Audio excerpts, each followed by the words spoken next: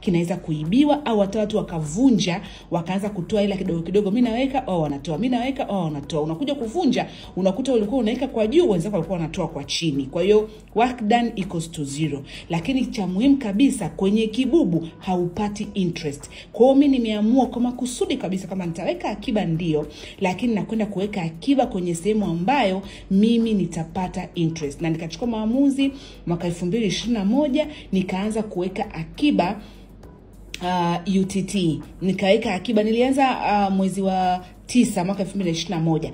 Kwa hiyo nikaanza kuweka akiba ya UTT. Naweka akiba ya UTT kwa sababu ni salama zaidi, lakini ile akiba yangu itakuwa inanizalishia kitu kidogo, na sio kama kibubu. Ukiweka shilingi elfu kumi unakuta shilingi elfu kumi lakini angalau UTT ukiweka shilingi elfu kumi unaweza kukuta shilingi elfu kumi na mia tano Ina maana ile mia tano ni interest ambayo umeipata kutokana na kuweka kwako akiba. Sasa nataka niwaonyeshe uh, mimi navyoweka